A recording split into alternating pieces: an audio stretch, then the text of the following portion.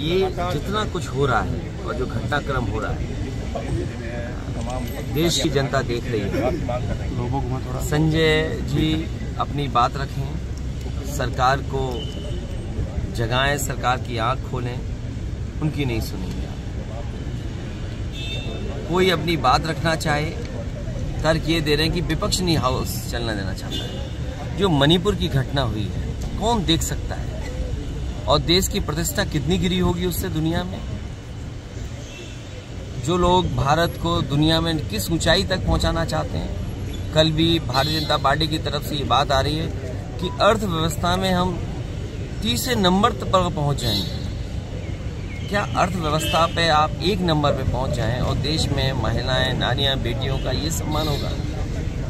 मणिपुर जैसी घटना ने सबको मजबूर किया है, उस पर खड़े हो जाएँ, उस पर बात रखें। और लोकसभा से बेहतर, राज्यसभा से बेहतर जगह कौन सी है? कौन सा प्लेटफॉर्म है जहाँ पे बात रखी जाए या ना रखी जाए?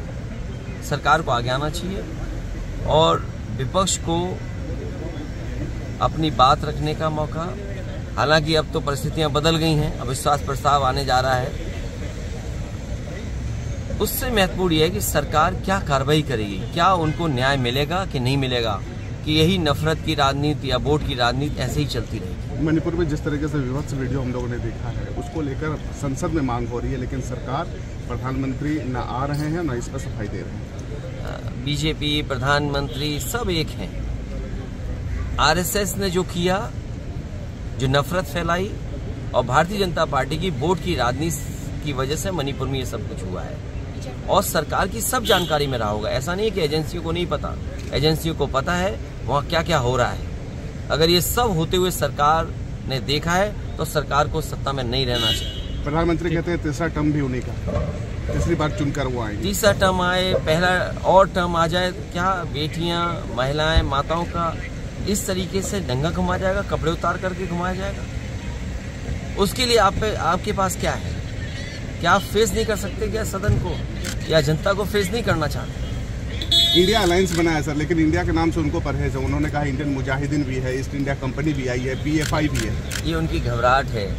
कल को और हम सब इंडिया से कौन इंडिया से लगाव रखता है? कौन इंडिया को प्यार नहीं करता? कौन इंडिया को आगे नहीं ले आना चाहता है? कल इंडिया के नाम को वो आगे कर रहे थे। स्किल इंडिया न जाने कितनी इंडिया और आज जब इंडिया से घबरा रहे हैं सोचिए आप इसका मतलब घबराहट जो है वो साफ़ है कि जनता इनके खिलाफ है। मैंने पहले भी कहा फिर कहता हूँ। देश की दो तिहाई जनता इनको हटाना चाहती है।